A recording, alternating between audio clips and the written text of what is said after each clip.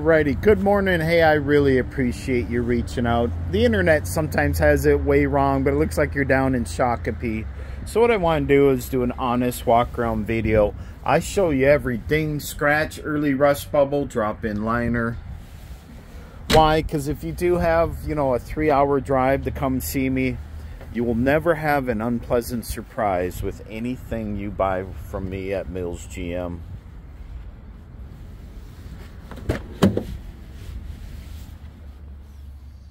Smells good. They were not smokers because once you get that in a car, you just, it doesn't come out. Rims still look good. Tires have plenty of life.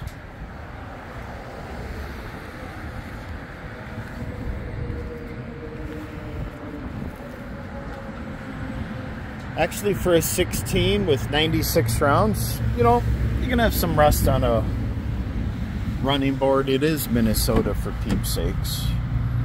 This is a nice shape.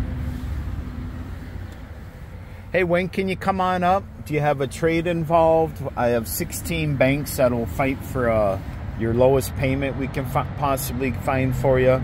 Give me a call, Troy here at Mills GM. All right, let's always include the mechanics report. I did get in a second key. Full vehicle inspection, synthetic blend oil change, uh, front pads and rotors, rear pads and rotors. And we replaced the e-brake uh, shoe and hardware for the emergency brake. And then it looks like we did replace a right side outside mirror. Give me a call.